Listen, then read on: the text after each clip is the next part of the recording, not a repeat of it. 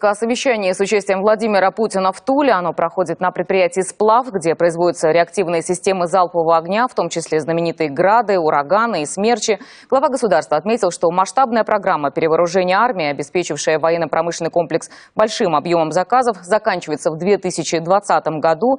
И важно заранее позаботиться о том, как в дальнейшем использовать возможности предприятий. Нужно э, уже сегодня думать об увеличении выпуска продукции гражданского и двойного назначения на предприятиях оборонного комплекса. Это важно для финансовой стабильности самих предприятий, для трудовых коллективов, которые, безусловно, нужно будет сохранить, а также для того, чтобы средства в свое время направленные, я сейчас об этом только говорил, на переоснащение отрасли, сработали на рост всей российской экономики, способствовали развитию импортозамещения, а также наращиванию высокотехнологичного экспорта.